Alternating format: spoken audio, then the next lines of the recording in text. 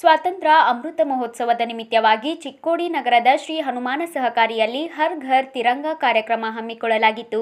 ಹನುಮಾನ credit ಸೌಹಾರ್ದ ಸಹಕಾರಿ ಮತ್ತು ಚಿಕ್ಕೋಡಿ ತಾಲೂಕಾ ಕಾನೂನು ಸಲಹಾ ಸಮಿತಿಯ ಸಂಯುಕ್ತ ಆಶ್ರಯದಲ್ಲಿ ಹಮ್ಮಿಕೊಂಡ ಕಾರ್ಯಕ್ರಮದಲ್ಲಿ ಮನೆ ಮನೆಗಳಿಗೆ ತಿರುಗಿ ರಾಷ್ಟ್ರಧ್ವಜಗಳನ್ನು ವಿತರಿಸಲಾಯಿತು. ಸಮಾರಂಭದಲ್ಲಿ ಏಳನೇ ಹೆಚ್ಚುವರಿ ಜಿಲ್ಲಾ ಹಾಗೂ ಸತ್ರ ನ್ಯಾಯಾಧೀಶರಾದ ಎಸ್ಎಲ್ ಚೌಹಾಣ್ ಹಿರಿಯ ದಿವಾನಿ ನ್ಯಾಯಾಧೀಶರು ಹಾಗೂ ತಾಲೂಕಾ ಕಾನೂನು ಸೇವಾ ಸಮಿತಿಯ ಅಧ್ಯಕ್ಷರಾದ ಟಿ ಶ್ರೀಕಾಂತ್, ದಿವಾನಿ ನ್ಯಾಯಾಧೀಶ ಹಾಗೂ ಕಾನೂನು ಸೇವಾ ಸಮಿತಿ ಕಾರ್ಯದರ್ಶಿ ಚಿದಾನಂದ್ ಎಸ್. ಬಡಿಗೇರ್, ಒಂದನೇ ಹೆಚ್ಚುವರಿ ದಿವಾನಿ ನ್ಯಾಯಾಧೀಶರು ಅಶೋಕ್ ಆರ್ಎಚ್ ಎರಡನೇ ಹೆಚ್ಚುವರಿ ದಿವಾನಿ ನ್ಯಾಯಾಧೀಶರಾದ ನಾಗೇಶ್ ಪಾಟೀಲ್ ಸರ್ಕಾರಿ ಅಭಿಯೋಜಕ ಆರ್ಐ ಖೋತ್ ನ್ಯಾಯವಾದಿಗಳ ಸಂಘದ ಅಧ್ಯಕ್ಷ ನಾಗೇಶ್ ಕಿವಡ್, ಕಾರ್ಯದರ್ಶಿ ಎಲ್ವಿ ಬೋರನವರ್ ಹನುಮಾನ ಸಹಕಾರಿ ಅಧ್ಯಕ್ಷ ಬಿಆರ್ ಯಾದವ್, ಉಪಾಧ್ಯಕ್ಷರಾದ ಸುವರ್ಣ ಠಾಣೇಕರ್, ಸಂಚಾಲಕರಾದ ಡಿಎ ಹವಾಲ್ದಾರ್, ಜ್ಯೋತಿಬಾ ಖಾಮ್ಕರ್, ಈಶ್ವರ್ ಥೋರಬೋಲೆ ಸೇರಿದಂತೆ ಸಂಚಾಲಕರು, ಸಿಬ್ಬಂದಿ ಹಾಗೂ ಸದಸ್ಯರು ಉಪಸ್ಥಿತರಿದ್ದರು. ಪತ್ರಿಕಾ ಮಾಧ್ಯಮದವರೇ, ಎಲ್ಲರಿಗೆ ಗೊತ್ತಿರುವಂತೆ ಹದಿನೈದು ಆಗಸ್ಟ್ವರೆಗೆ ಹರ್ ಘರ್ ತಿರಿಂಗ ಎಂಬ ಅಭಿಯಾನವನ್ನು ಕೇಂದ್ರ ಸರ್ಕಾರದ ಸೂಚನೆ ಮೇರೆಗೆ ನಮ್ಮ ಇಡೀ ದೇಶದಲ್ಲಿ ಈ ಕಾರ್ಯಕ್ರಮವನ್ನು ಹಮ್ಮಿಕೊಳ್ತಾ ಇದ್ದೇವೆ. ಆ ಅಭಿಯಾನದ ಪ್ರಯುಕ್ತ ಇವತ್ತು ಈ ಸೊಸೈಟಿಯಲ್ಲಿ ನಮ್ಮ ದೇಶದ ಪ್ರಜೆಗಳಿಗೆ, ಇಲ್ಲಿಯ ಸ್ಥಳೀಯ ಜನರಿಗೆ, ಸೊಸೈಟಿಯ ಮೆಂಬರ್ಸ್ಗಳಿಗೆ ಇಲ್ಲಿರ್ತಕ್ಕಂಥ ಜನರಿಗೆ ನಮ್ಮ ದೇಶದ ತ್ರಿವರ್ಣ ಧ್ವಜವನ್ನು ವಿತರಿಸುವ ಮೂಲಕ ಅದಕ್ಕೆ ನಮ್ಮ ಬಿ ಆರ್ ಯಾದವ್ ವಕೀಲರು ಮತ್ತು ಅವರ ಪದಾಧಿಕಾರಿಗಳು, ಸಂಘದ ಸಂಘದ ಸದಸ್ಯರು ಒಂದು ಒಳ್ಳೆಯ ಕಾರ್ಯಕ್ರಮವನ್ನು ಹಮ್ಮಿಕೊಂಡಿದ್ದು ಬಹಳ ಖುಷಿ ಅನ್ನಿಸ್ತದೆ. ಯಾಕಂತಂದರೆ ಕೆಲವರಿಗೆ ಹರ್ ಹರ್ ತಿರಂಗ ಅಂದರೆ ಏನು ಅನ್ನೋದು ಕೆಲವರಿಗೆ ಗೊತ್ತಿರೋದಿಲ್ಲ. ಕೆಲವರು ಈ ತ್ರಿವರ್ಣ ಧ್ವಜವನ್ನು ಖರೀದಿ ಮಾಡಿ ನಮ್ಮ ಮನೆ ಮೇಲೆ ಅದನ್ನು ಹಾರಿಸುವುದು ಕೆಲವರಿಗೆ ಆಗದೇ ಇರುವಂಥದ್ದು, ಅದನ್ನು ಅವರು ಮನಗಂಡು ಈ ಸೊಸೈಟಿಯವರು ತಮ್ಮದೇ ಆದ ಖರ್ಚಿನಲ್ಲಿ ಜನರಿಗೆ ಉಚಿತವಾಗಿ ತ್ರಿವರ್ಣ ಧ್ವಜವನ್ನು ವಿತರಿಸುವಂಥ ಕಾರ್ಯಕ್ರಮ ಹಮ್ಮಿಕೊಂಡಿದ್ದಾರೆ. ಭಾರತ ಸರ್ಕಾರ. ರಾಷ್ಟ್ರೀಯ ಕಾನೂನು ಸೇವೆಗಳ ಪ್ರಾಧಿಕಾರ, ರಾಜ್ಯ ಕಾನೂನು ಸೇವೆಗಳ ಪ್ರಾಧಿಕಾರದ ನಿರ್ದೇಶನದಂತೆ ತಾಲೂಕು ಕಾನೂನು ಸೇವಾ ಸಮಿತಿ, ನ್ಯಾಯವಾದಿಗಳ ಸಂಘ, ಹನುಮಾನ್ ಸರ್ಕಾರಿ ಸಂಘ ಇವುಗಳ ಸಂಯುಕ್ತ ಆಶ್ರಯದಲ್ಲಿ ಹರ್ ಘರ್ ಹರ್ ತಿರಂಗ ಅಂತಕ್ಕಂಥ ಕಾರ್ಯಕ್ರಮವನ್ನು ಆಯೋಜಿಸಿಕೊಂಡಿರ್ತಕ್ಕಂಥದ್ದು ತುಂಬ ಶ್ಲಾಘನೀಯವಾಗಿರ್ತಕ್ಕಂಥ ವಿಷಯ. ತಮಗೆಲ್ಲರಿಗೂ ಗೊತ್ತಿರ್ಬೋದು. ದೇಶಾಭಿಮಾನ ಮತ್ತು ಭಾಷಾಭಿಮಾನ ರಕ್ತಗತವಾಗಿ ಬಂದುಬಿಡ್ತವೆ, ಹುಟ್ಟಿನಿಂದ ಬಂದುಬಿಡ್ತವೆ. ಅದಕ್ಕೆ ಯಾರೂ ಕಲಿಸುವ ಅವಶ್ಯಕತೆ ಇದೆ ಆ ಎರಡು ಏನಿದಾವಲ್ಲ, ಆ ಎರಡೂ ನಾವು ಹುಟ್ಟತಾನೆ ನಮ್ಮ ರಕ್ತಗತವಾಗಿ ಬಂದುಬಿಡ್ತದೆ ನಮ್ಮ ದೇಶಾಭಿಮಾನ ಮತ್ತು ಭಾಷಾಭಿಮಾನ. ಅದು ಎಲ್ಲರ ಹತ್ರನೂ ಇರಬೇಕು. ಭಾರತದ ಪ್ರಜೆಗಳಲ್ಲಿ ನಮ್ಮ ದೇಶದ ಸಂಸ್ಕಾರಗಳನ್ನು ಮತ್ತು ನಮ್ಮ ದೇಶಗಳ ಕಾನೂನುಗಳನ್ನು ಗೌರವಿಸ್ತಕ್ಕಂಥ ಅಭಿಮಾನ ಇರಬೇಕು ಆ ಭಾವನೆ ಎಲ್ಲರ ಮೂಡಬೇಕು ಅಂತಕ್ಕಂಥ ಒಂದು ಉದ್ದೇಶವನ್ನು ಇಟ್ಕೊಂಡು ಈ ಹರ್ಗರ್ ಹರತಿರಂಗ ಹರ್ ತಿರಂಗ ಅಂತಕ್ಕಂಥ ಅಭಿಯಾನವನ್ನು ಗಣತಂತ್ರ ಭಾರತ ಸರ್ಕಾರ ಕೈಗೊಂಡಿದೆ. ಅದರ ಹಿನ್ನೆಲೆಯ ಜೊತೆಗೆ ಸಹಕಾರಿ ಸಂಘದಲ್ಲಿ ಈ ಒಂದು ಕಾರ್ಯಕ್ರಮವನ್ನು ಆಯೋಜಿಸಿಕೊಂಡಿರ್ತಕ್ಕಂಥದ್ದು ತುಂಬ ವಿಶೇಷವಾಗಿರ್ತಕ್ಕಂಥ ಕಾರ್ಯಕ್ರಮ. ಈ ಒಂದು ಕಾರ್ಯಕ್ರಮವನ್ನು ಕೇಂದ್ರ ಸರ್ಕಾರ, ನಮ್ಮ ನೆಚ್ಚಿನ ಪ್ರಧಾನಮಂತ್ರಿಗಳಾದ ಸನ್ಮಾನ್ಯ ಶ್ರೀ ನರೇಂದ್ರ ಮೋದಿ ಅವರ ಈ ಒಂದು ಕನಸು ಯಾಕಂದರೆ ಅವರು ತಮ್ಮ ಮನ್ ಕಿ ಬಾತಲ್ಲಿ ಹೇಳಿದರು, ಎಪ್ಪತ್ತೈದು ವರ್ಷದಿಂದ ಯಾಕೆ, ಯಾರು ನಮ್ಮ ಯುವಕರು ಇರಲಿಲ್ಲ. ಸ್ವಾತಂತ್ರ್ಯ ಯಾವ ಥರ ಆಯಿತು, ಸ್ವಾತಂತ್ರ್ಯ ಯಾವ ಯಾವ ಥರ ದೊರಕಿತು.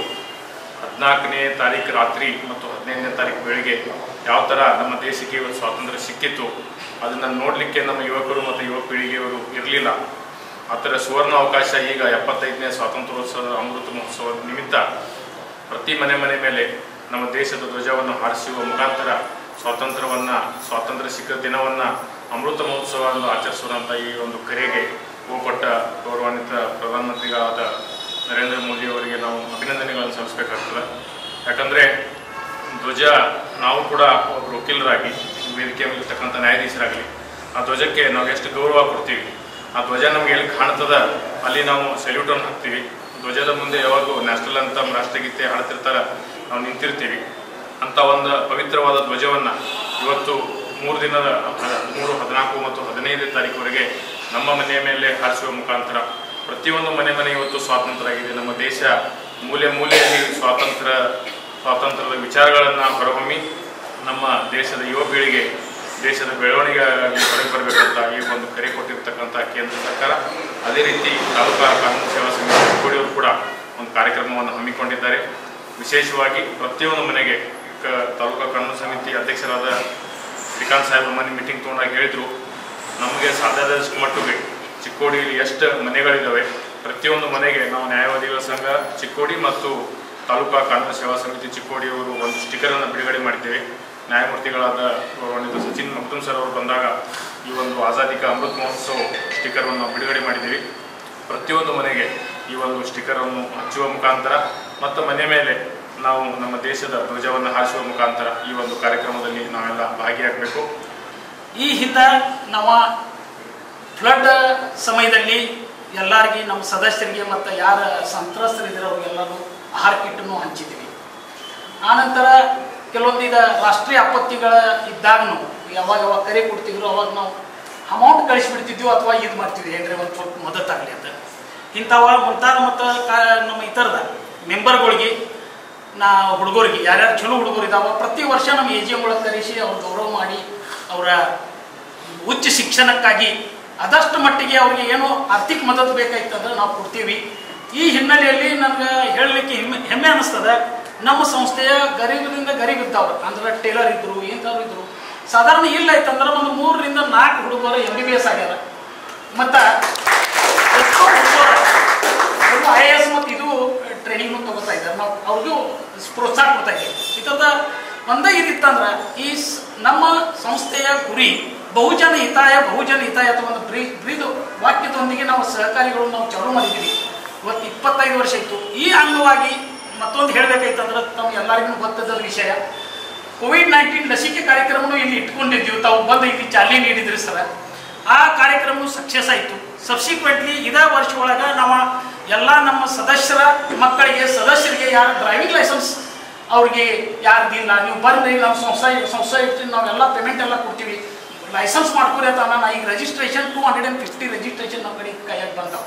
ಈಗ ನಾವು ಆ ಕಂಪ್ಯೂಟರ್ ಒಳಗೆ ಹಾಕ್ತಾ ಇದ್ದೀವಿ ಆರ್ ಟಿ ಹೇಳಿ ಒಂದು ಲೈಸೆನ್ಸ್ ಕೊಡೋದು ವ್ಯವಸ್ಥೆ ಮಾಡ್ತಾ ಇದ್ದೀವಿ ಇದು ಇಷ್ಟ ಅಲ್ಲದ ಈ ಮೆಡಿಕಲ್ ಕ್ಯಾಂಪ್ ಒಂದು ಮಾಡ್ಕೊಂಡಿವಿ ನಾವು ಹೆಲ್ತ್ ಕ್ಯಾಂಪ್ ಆ ನಂತರ ಒಂದು ಎಲ್ಲ ರೈತರಿಗೆ ಅನುಕೂಲ ಆಗಲಿ ಅಂತ ಒಂದು ಒಬ್ಬ ತಜ್ಞರನ್ನು ತಂದು ನಾವು ಅವ್ರಿಗೆ ತರಬೇತಿನೂ ರೈತರಿಗೆ ಇಲ್ಲಿ ಕೊಟ್ಟು ಕೊಡೋದು ವ್ಯವಸ್ಥೆ ಈ ವರ್ಷ ಮಾಡಿದ್ದೀವಿ ಹಿಂಗೆ ನಾಲ್ಕೈದು ಕಾರ್ಯಕ್ರಮಗಳನ್ನು ಹಾಕಿಕೊಂಡಿದ್ದೀವಿ.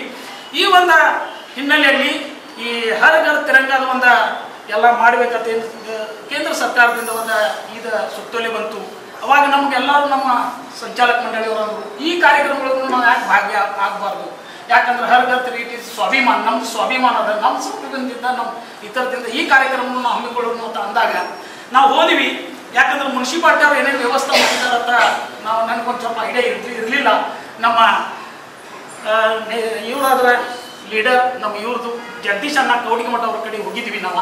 ಈ ನಮ್ಮ ಕಾರ್ಯಕ್ರಮದ ಹಿನ್ನೆಲೆಯಲ್ಲಿ ಒಂದು ಆಮಂತ್ರಣ ಕೊಡಬೇಕಿತ್ತು. ಅವ್ರು ಆ ಇತರಗಳು ಹೋಗಿದ್ವಿ ನಾವು ಇದು ಒಂದು ನಮ್ಮ ಎಲ್ಲರೂ ಮೀಟಿಂಗ್ ಒಳಗೆ ಇಟ್ಕೊಂಡಿವಿ. ಇದ್ರ ಬಗ್ಗೆ ಏನು ಮಾಡೋಣ ಅಂತ ಹೇಳ ಹೇಳಿದಾಗ ಅವ್ರ ಹೇಳಿದ್ರು, ಸರ್, ನೀವು ಮಾಡ್ರಿ, ಒಳ್ಳೇದು ಕಾರ್ಯಕ್ರಮ ಅದ.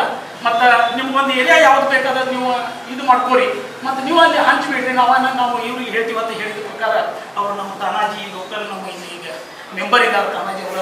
ಇದಕ್ಕೆ ನಮ್ಗೆ ಟಿ ಎಂ ಅವರು ನಮ್ಗೆ ಸಹಕಾರ ಕೊಟ್ಟರು ಈ ಕಾರ್ಯಕ್ರಮ ಮಾಡಲಿಕ್ಕೆ. ಅವ್ರದ್ದು ನಾನು ಇಲ್ಲಿ ಮೆಂಬರ್ ಇದರಿಂದ ಹೃತ್ಪೂರ್ವಕವಾದ ಅಭಿನಂದನೆಗಳು ಸಲ್ಲಿಸುತ್ತೇನೆ. ಇಲ್ಲಿ